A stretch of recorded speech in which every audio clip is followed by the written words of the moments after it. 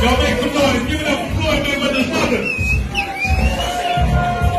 I need everybody to stand up, man. This is the greatest athlete in the world. It does not happen in Las Vegas. Any event does not get this kind of recognition. Thank you. Everybody get your phones out, take pictures. We thank you sister you know me, for giving birth to the best athletes in the world. You gotta make some noise, man. That's the champ in the building.